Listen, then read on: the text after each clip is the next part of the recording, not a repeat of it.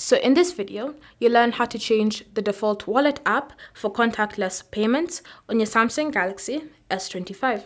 So if you want to change the wallet app so that you can use your own preferred option, whether it's the Samsung wallet, the Google wallet, or just one that you've installed from the Play Store, this is what you need to do.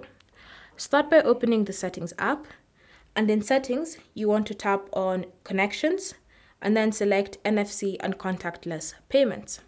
From here, you want to ensure that it's turned on and once it's enabled, you should come to this section labeled contactless payments. Then you should see default wallet app. Tap on it. By default, your wallet app is going to be the Samsung wallet. So if you want to change it to something else, just select it from the list. For example, the Google wallet. Again, the Samsung wallet is your default, but it also comes with the Google wallet pre-installed onto your phone. So you don't have to go and install this app. And then when you select it, that will be the wallet that you're going to be using to pay for items.